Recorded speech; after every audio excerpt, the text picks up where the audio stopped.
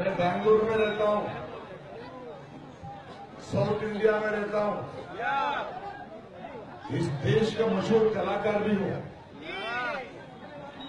लेकिन मुझे भी, हमें भी कन्हैया जैसी आवाज़ चाहिए। असली सुपरस्टार है कन्हैया बेगूसराय बहुत लकी है। मुझे मुलाकात नहीं हुआ था कन्हैया से जब पहली कन्हैया का आवाज़ सुना मैंने इस देश में तो मुझे भरोसा आया कि इस देश का भी कुछ उम्मीद है। इस बेगूसराय की मिट्टी का खुशबू आया मैं उसकी बातों में। कि इस देश के नौजवान अभी ज़िंदा है। हिम्मत है उनमें। बोलो, कुछ भी आप कन्हैया को मैं मानता हूँ, और पूरा देश मानता है, कि कन्हैया भारत देश की आवाज़ है। ये लड़ाई सुपुत्र और कुपुत्र के बीच में सुपुत्र वो है जो सद्गुण है और सुशिक्षित है। वो कन्हैया है? कुपुत्र वो है, बहुत कुटिल तंत्र करता है। उसके नाम बोलने की ज़रूरत नहीं है। आप सब लोगों को पता है। देखिए, ज़िम्मेदारी है हम सब लोगों पर। लोग पूछते हैं प्रकाश राज आप कलाकार हैं। एक मिनट रिपोर्ट देखना आते और आप लोग भी थोड़ा मैं बात करने आया हूँ यहाँ पे। लोग पूछते हैं प्रकाश राज आप कलाकार हैं। आपको राजनीति क्यों? आपको पॉलिटिक्स क्यों? मैं बोलता हूँ, मैं कलाकार बनने से पहले एक गरीब माँ की बेटा था जब इस फ़िल्म इंडस्ट्री में आया मैंने, मेरे पास एक सौ बीस रुपया था बस।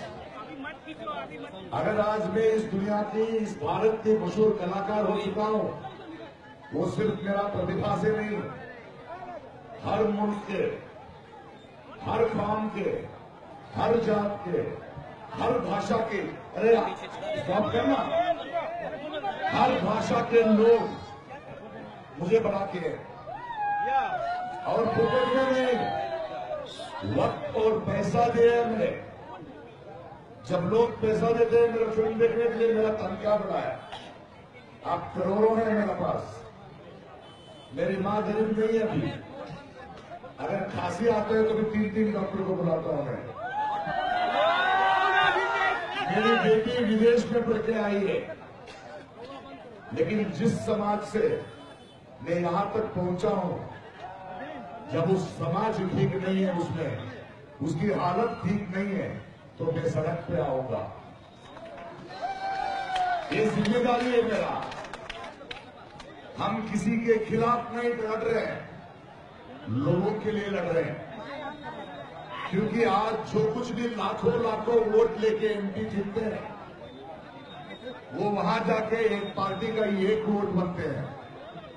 हमको ऐसे लोग चाहिए जो संसद में जाएँगे और हमारे आवाज़ बनेंगे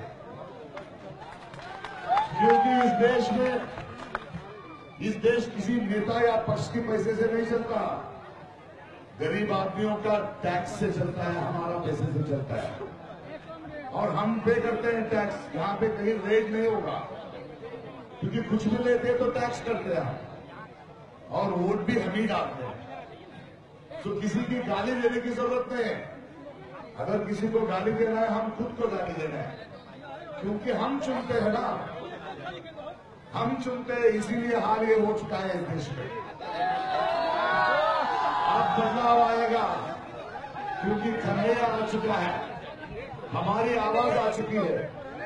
भाइयों और बहनों कन्हैया ने ज़िम्मेदारी से खड़ा है।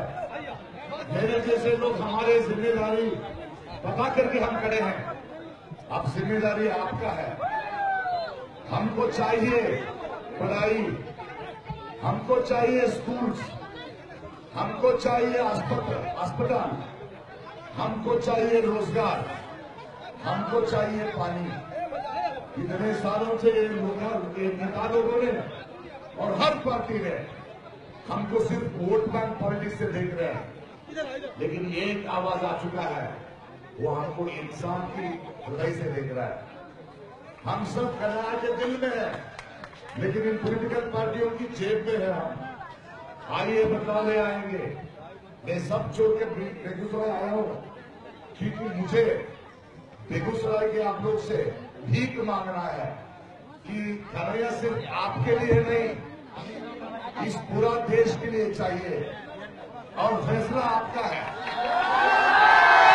आप दीजिए मुझे ठीक मैं भी खड़ा हूँ बैंगलोर सर्कल में।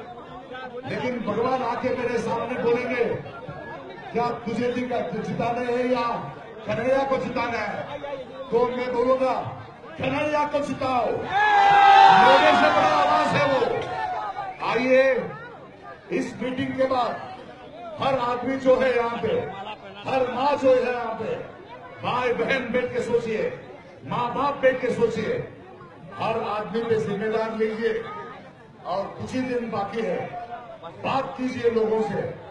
हमको जात नहीं चाहिए, हमको पानी चाहिए। हमको जात की परवाह नहीं है, हमको रोज़गार चाहिए। देखिए, हम गरीब है। हमारे बच्चे गरीबी रहने की ज़रूरत नहीं है। हम अनपढ़ हैं, पर हमारे बच्चे पढ़ना है। अगर हमारे से बच्चे पढ़ेंगे तो और एक कन्हैया पैदा होगा। और एक राज पैदा होगा।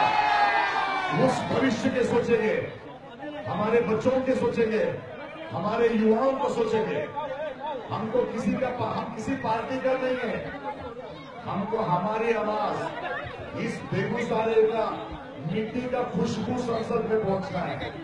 चलिए, एक शपथ कीजिए और आज से हर दिन, हर वक्त आप सब लोगों से बात कीजिए और इतना मेजोरिटी से, इतना मेजोरिटी से कन्हैया को हैं आप ताकि देश सुकून से सो सके